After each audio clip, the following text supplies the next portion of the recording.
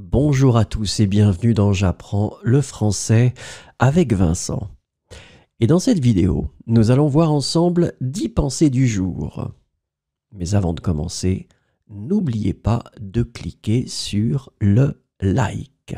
Merci.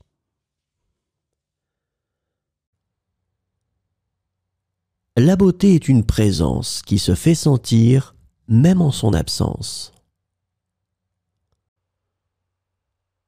Les amoureux sont des jardiniers qui cultivent chaque jour l'amour qui les unit. Les blessures peuvent nous rendre plus compatissants envers les autres, car nous comprenons la douleur de l'expérience. Parfois, l'absence est plus présente que la présence elle-même. Il est préférable d'avoir son propre avis que de suivre aveuglément celui des autres. Le bonheur ne consiste pas à posséder beaucoup, mais à apprécier ce que l'on a et à être en paix avec soi-même. La colère est une invitation à l'introspection et à la transformation personnelle.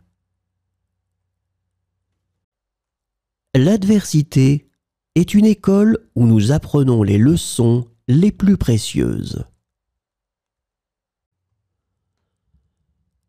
La bouche est le miroir de l'âme. Elle révèle nos émotions les plus profondes. Dans l'amant, on découvre la délicatesse des gestes et la douceur des caresses.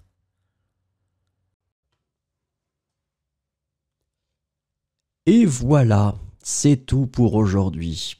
Merci pour votre attention, au revoir et à bientôt.